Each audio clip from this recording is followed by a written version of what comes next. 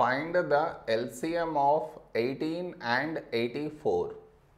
To find the LCM, first we should frame it in this way. See, 18 comma 84. This is your step 1. Now you should focus on to the first number which is 18 here. For this number last digit 8 even so take 2.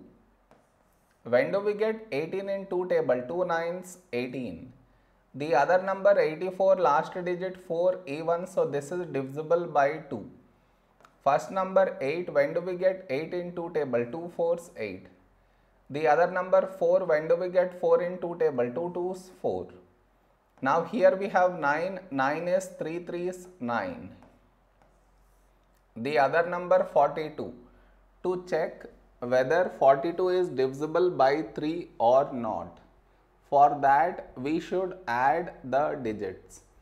What I mean is 4 plus 2 6. Is 6 divisible by 3? Yes. So this number also divisible by 3. So the first number 4. A number close to 4 in 3 table is 3 ones 3. 4 minus 3, 1, 1 carried forward 12. When do we get 12 in 3 table? 3 fours 12. Now here we have 3, 3 is a prime number, so 3 ones 3. The other number 14 not divisible by 3, so we write it down as it is.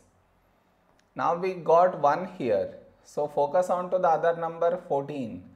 14 is 2 sevens 14. Now we have 7, 7 is a prime number, so 7 ones 7. So we got 1 in both the places. So our LCM is, LCM is the product of these numbers. That is 2 into 3 into 3 into 2 into 7. So let us multiply these numbers. 2 into 3 6, into 3 18, into 2 36, into 7. 7 into 6 42, 2 4, 7 3 is 21 plus 4 25. So 252 is our LCM.